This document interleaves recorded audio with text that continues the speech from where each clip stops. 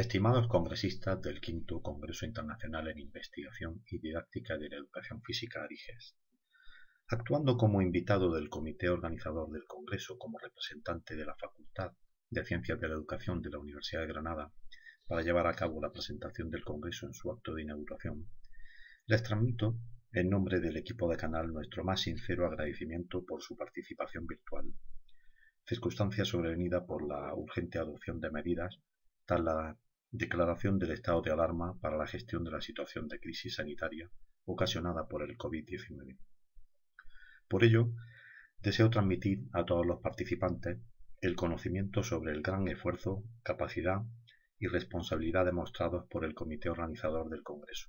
el comité científico, conferenciantes y ponentes para adaptarse en un breve intervalo de tiempo de la celebración presencial a la virtual.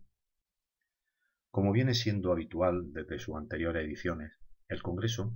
mantiene el objetivo de procurar un foro anual de encuentro y debate para contribuir al intercambio de ideas y experiencias relacionadas con la investigación y la innovación en el campo de la educación física. La organización recae en la Asociación sin ánimo de lucro ADIGES,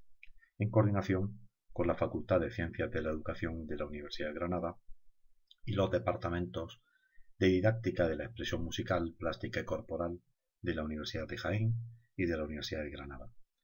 con la colaboración de los grupos de investigación UM 653, UM 238, UM 727 y UM 1020. La estructura flexible, dinámica e interactiva del evento posibilita la actividad divulgativa a través de conferencias, mesas redondas, talleres y trabajos de investigación e innovación a través de 10 áreas temáticas relacionadas con las ciencias de la educación, del deporte y la salud.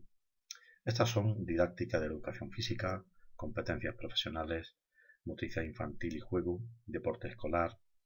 recreación y ocio, expresión corporal, temas transversales, necesidades educativas especiales, juegos motores y actividad física y salud. Todas estas intervenciones favorecerán sin duda la profundización en el conocimiento de las áreas temáticas propuestas, contribuyendo a la mejora de la comprensión de nuestra realidad en el terreno de la educación física y el deporte, y su repercusión social, facilitando una visión de los retos del futuro inmediato, además de proporcionar el desarrollo de los objetivos de desarrollo sostenible y los objetivos de la red española de universidades saludables, sobre los cuales se involucra la Universidad de Granada a través de la Facultad de Ciencias de la Educación. Mi reconocimiento a los conferenciantes y ponentes que con espíritu de total colaboración participarán durante el Congreso a través de sus intervenciones virtuales,